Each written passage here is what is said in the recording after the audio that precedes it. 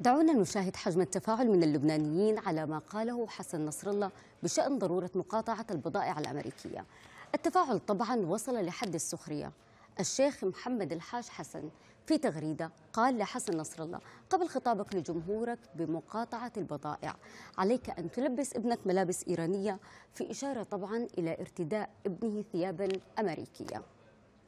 أما المغردة اللبنانية سارة عساف طلبت من حسن نصر الله بالبدء أولا بمقاطعة العملة الأمريكية والدفع لمناصريه بالريال الإيراني بدل الدولار. تغريدة أخرى لربيع طليس رد باستهزاء عن أن إطلالة حسن نصر الله كانت عبر الأقمار الصناعية الأمريكية. مغرد لبناني آخر قال لحسن نصر الله إذا ودك نقاطع البضائع الأمريكية جيب لنا كهرباء عشان نبطل نستعمل إضاءة الآيفون.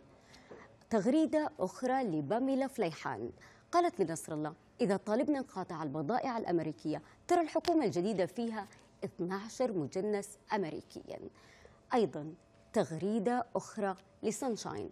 قالت على طريقة السخرية إنها راح تلبي طلب نصر الله وتبدأ أولا بمقاطعة الحكومة التي تضم 12 جنسية أمريكية.